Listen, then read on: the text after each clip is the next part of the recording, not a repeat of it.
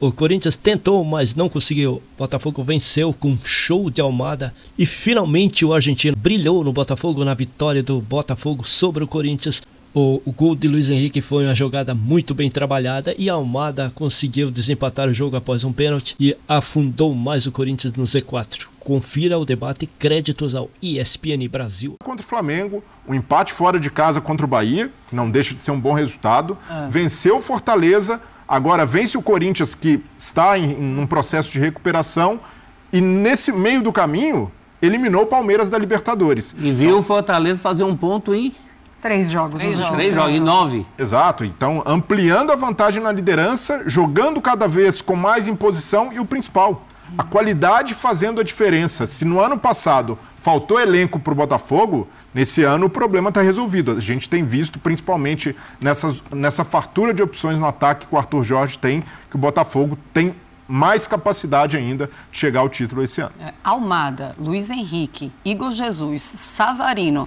É o maior quarteto, o melhor quarteto desse país, mas não tenho nenhum dúvida, nenhuma dúvida. Eu, pelo menos, não tenho nenhuma dúvida em relação a esse Botafogo. Um Botafogo muito entrosado, que vai para cima, que não tem medo. Agora, um Corinthians que tanto teve medo ou foi tão conservador naquele primeiro tempo, que o Ramon Dias, no intervalo, falou: três ah. zagueiros não está funcionando aqui. Então, ele tira o terceiro zagueiro, né? Ele tira o Caetano falou: agora vamos ver o que, é que a gente consegue fazer. Afinal, já estava perdendo mesmo Sim. por 1 a 0 E dá certo, Mari. Dá certo. É, o Corinthians no segundo tempo muito mais solto e ocupando melhor né, o campo. A gente viu um Corinthians melhor distribuído mesmo no segundo tempo.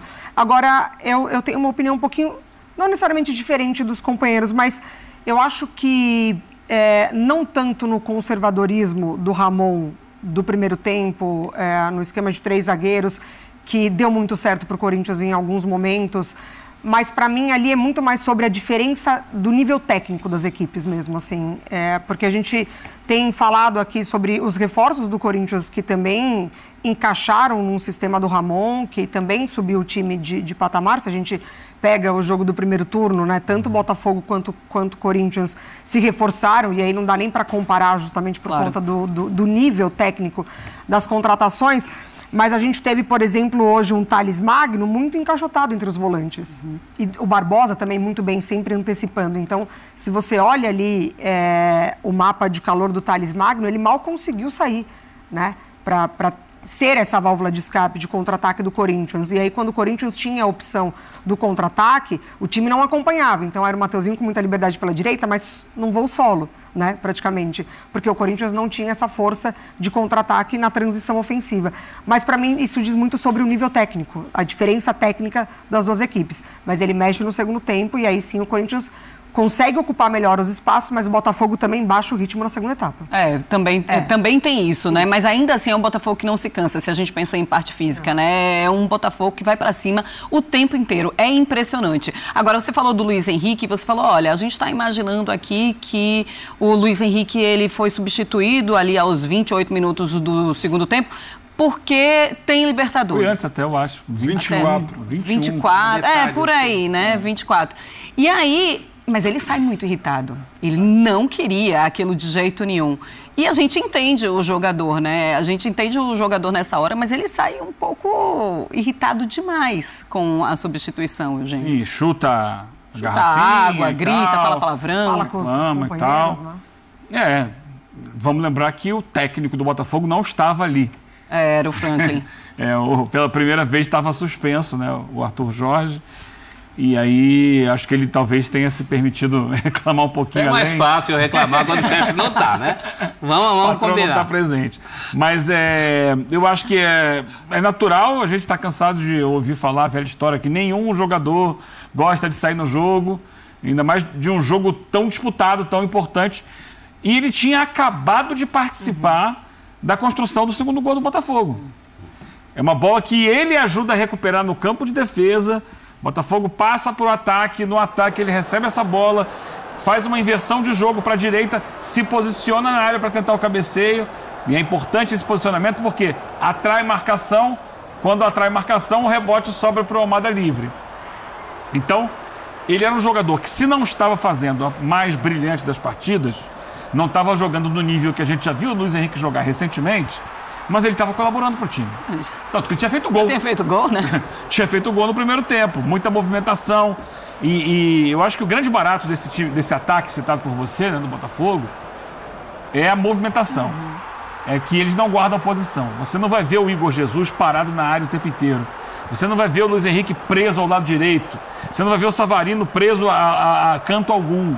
É, você tem muito o Savarino e o Almada circulando na intermediária, deixando o corredor esquerdo mais para a passagem do lateral.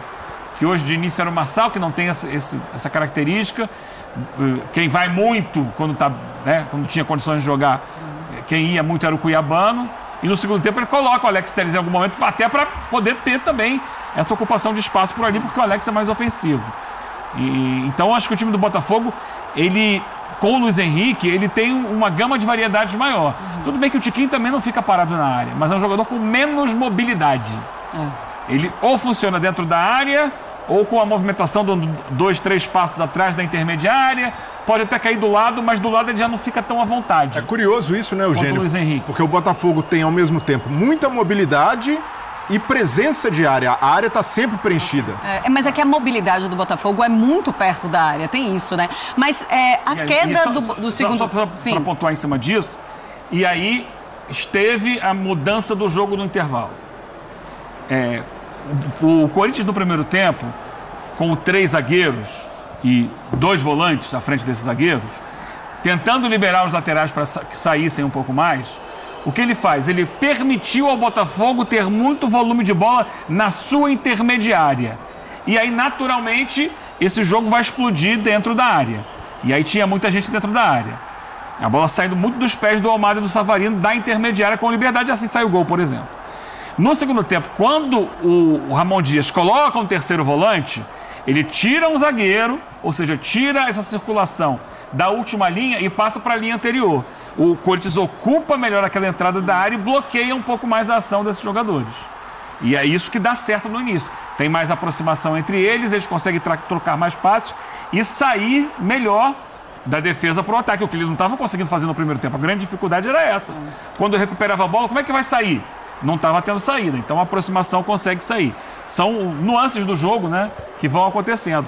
E isso bloqueia muito também essa capacidade do Botafogo de se movimentar. Aí chega o Hector Hernandes e consegue fazer isso. Mas eu me questionei, será que a saída do Luiz Henrique também não fez esse Botafogo piorar? Tanto assim? Ou é demais a gente colocar a saída do Luiz Henrique a essa melhora do Corinthians? Eu acho que quando o Luiz Henrique sai, isso aí já tinha acontecido. Não, não com a constância e frequência até o final da partida como aconteceu. Mas o Corinthians já dava sinais. O Botafogo já tinha arrefecido. É porque o Corinthians ele cai justamente depois que ele toma o gol, né? Exato. E o Luiz Henrique sai e, um minuto depois que o gol. E é muito rápido, sai. né, Maria? Não deu para avaliar se aquele Corinthians é. de antes continuaria, porque mexeu na história do jogo. Agora, acho que o grande ganho nem foi tanto na frente, na medida. Eu, eu, não sou contra os três zagueiros, adoro três zagueiros quando libero os laterais. Hum. Eu acho que três zagueiros é vida, como diria um grande amigo meu. é, eu acho que é o grande ganho foi passar a marcar mais na frente. Sim, sim. Né? Aí o Corinthians no segundo tempo ele pisa em lugares do gramado que ele não tinha pisado durante o, o primeiro tempo inteiro.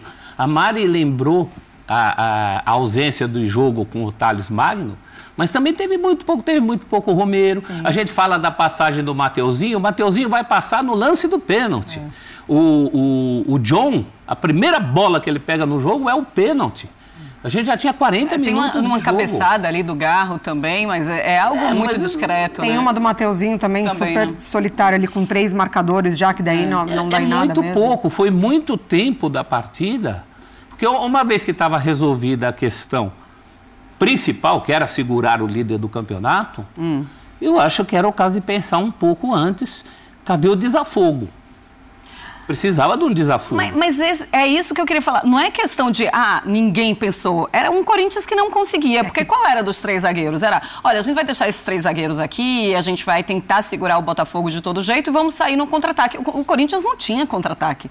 Então era, era algo que era um Corinthians completamente apertado ali pelo Botafogo, se salvando do jeito que dava com o Hugo, porque era, era a defesa mesmo do Corinthians. E um, um Corinthians que não conseguia fazer absolutamente nada, que era o contra-ataque, que era o que a gente deveria ver. Bailey? Sim, e, é, e até a gente percebe. A gente consegue ver aí, né, inclusive nos números. É um primeiro tempo do Corinthians que não conseguiu ser agressivo, muito também em função da mexida tática que o Ramon Dias precisou fazer lá na frente para acomodar os três zagueiros. Então, quando ele joga com dois atacantes, Romero e Thales Magno, são dois caras muito acostumados a jogar pelo lado. E eles precisaram centralizar mais até para abrir esse corredor e dar a possibilidade do Bidu atacar pelo lado esquerdo e o Mateuzinho pelo direito. E ali eles vão para uma zona que é de desconforto, que não é habitual deles. O Thales Magno tem uma movimentação que é clássica, saindo da esquerda para o meio, buscando a área, e até ele costuma chegar muito bem assim, ser um elemento surpresa para preencher a área, como foi no gol que marcou contra o Flamengo. É, o Romero, a mesma coisa pelo lado direito. E com esse ataque desfigurado e o Botafogo muito agressivo, realmente ficou difícil para o Corinthians ter essa, essa brecha de encontrar um jogador de velocidade. Porque o Mateuzinho, quando chegava, na, nas oportunidades que teve, a única bola esticada que encontrou foi a da jogada do pênalti e antes ele tinha arrancado o escanteio, chegando na área como elemento surpresa, mas muito pouco realmente para um time que está na situação do Corinthians. Então faltou realmente uma, uma postura diferente, mas ainda assim eu vejo que o Botafogo, pela capacidade de gerar jogo e por essa qualidade que a Mari ressaltou, é muito difícil de parar. Então, por mais que o Ramon Dias tivesse até desfeito o esquema com três zagueiros no primeiro tempo, com aquela volúpia do Botafogo, a intensidade é natural que baixe no segundo tempo. Sustentar esse ritmo também de movimentação, deslocamentos ali na frente é complicado. Mas eu não vejo também hoje o Corinthians com armas e elementos suficientes para conseguir fazer frente ao Botafogo. O Botafogo fez valer o favoritismo, uhum. jogando em casa, é, com a capacidade desse time também de não sentir o baque, porque o Botafogo toma o gol num pênalti ali que é contestado, jogadores bravos, mas não se descontrola emocionalmente. Então o Arthur Jorge tem esse grande mérito que foi de ter colocado o Botafogo num outro trilho, que é de força mental, que é de repertório com a bola, de confiar muito no que faz, e isso ajuda também a jogadores que chegam e se adaptam. O Almada demorou um pouquinho, chegou ali meio tímido. É, nos primeiros jogos, o Almada fazia poucas jogadas individuais, como fez hoje, de cortar os zagueiros. Ele estava ali ainda travado, sentindo também os companheiros, a ideia de jogo. A partir do momento em que se encaixa fica mais à vontade, o jogo flui. E hoje realmente foi a melhor partida dele com a camisa do Botafogo. Impressionante o Thiago Almada hoje com, com a camisa do Botafogo. Olha, contra o Corinthians. Ele teve um gol, melhor ranking desde a estreia, cinco finalizações, duas finalizações certas, três dribles certos, seis duelos vencidos, três chances criadas, é o segundo melhor apenas nesses itens, né? E ainda iniciou a jogada do primeiro gol do Botafogo, que vai ali para o Savarino, Savarino cruza e o Luiz Henrique consegue fazer o gol. Mari, hoje o Botafogo tem o melhor futebol do Brasil? Tem o melhor futebol do Brasil e não sei se o melhor elenco, mas com certeza um dos. Porque o elenco do Flamengo também é muito bom, né? É. É, na é. individualidade, no mercado, os, mesmo com, os, com os desfalques. Um... Exatamente. E se você acrescenta o Botafogo Júnior Santos, o Eduardo, que também estão fora, eu acho que é um Botafogo que conseguiu numa organização como instituição mesmo, que vem muito do, da SAF e, obviamente, que o dinheiro faz muita diferença, né, o impacto dos reforços, mas o mérito do Arthur Jorge, que eu sempre falo aqui, que para mim o que mais chama a atenção nesse Botafogo é a assimilação rápida dos jogadores. Dos que chegam, o Almada foi o que mais demorou, mas ainda assim não comprometeu né, um é, esquema. Normal também, né, Mário? Claro, uma outra liga, enfim, né, de MLS mas a gente vê um Igor Jesus impactando demais. A gente viu os reforços que chegaram e a assimilação rápida de trabalho, de calendário, de condicionamento físico. Então, a gente pontua muito aqui é, a individualidade, esse Botafogo forte, mas observar o trabalho acontecendo como um clube mesmo, uhum. né? de, de, de departamentos, de gestão, na individualidade, no Arthur Jorge, na capacidade como treinador. Então, assim, muda peças, a intensidade de jogo permanece, a mentalidade permanece. Então, é um Botafogo que, se a gente eu pelo menos tinha uma dúvida ali como que volta depois de data FIFA, porque não jogou, né, Copa do Brasil como outros outros uhum. A gente vê que mantém ali é. pelo menos a mentalidade de um time que busca o brasileirão. Alguém